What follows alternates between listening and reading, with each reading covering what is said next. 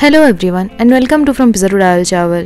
So today I'll be sharing the recipe of this delicious and yummy unique snack and this is called cheesy chili paneer pockets and this tastes so delicious and here I have made it with whole wheat flour or atta so do check out the recipe and give it a try ଯଦି ଆପଣ ଏ ରେସିପିକୁ ଓଡ଼ିଆ ଦେଖିବାକୁ ଚାହୁଁଛନ୍ତି ऊपर इतिबाय ଥିବା I को ଲିଙ୍କକୁ करों तो. So first to make the dough, in a bowl take 1 cup of atta or whole wheat flour. To that add half teaspoon of baking powder, 1 4 teaspoon of baking soda, 1 teaspoon of sugar, half teaspoon of salt and sprinkle some mixed herbs and chili flakes. Mix everything well. Then add half cup of curd. Mix well and knead. So basically here we are making a bread dough without yeast. Knead the dough till it comes together. Then transfer it to a flat surface and stretch and knead. As we are not adding yeast here, we need to stretch it for 5 to 7 minutes.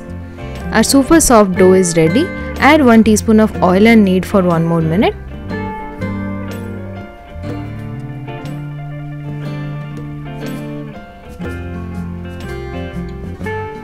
Keep it in a bowl and apply 1 teaspoon of oil. Cover and rest for 30 minutes. Meanwhile, let's prepare the stuffing. In a pan, heat 1 tablespoon of oil.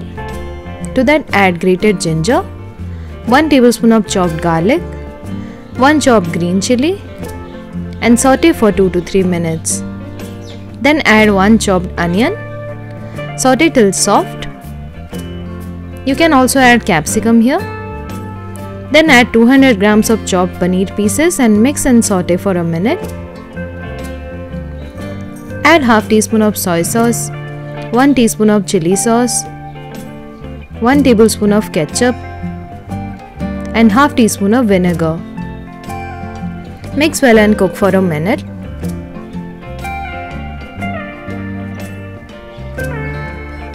Add half teaspoon each of salt and pepper and sprinkle some mixed herbs and chili flakes. Give it a good mix.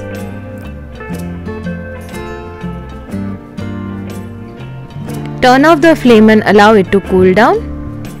Knead the well rested dough for 2 more minutes. Make dough balls. You can make 6 uh, paneer pockets with this dough.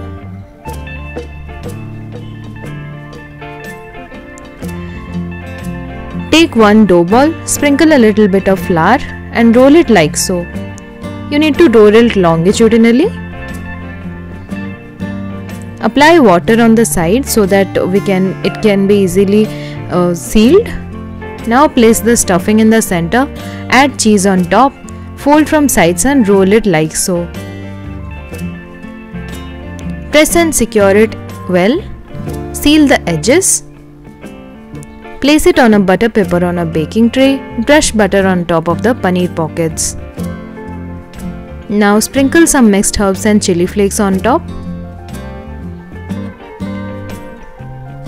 Bake at 180 degrees Celsius in a preheated oven for 20 to 25 minutes.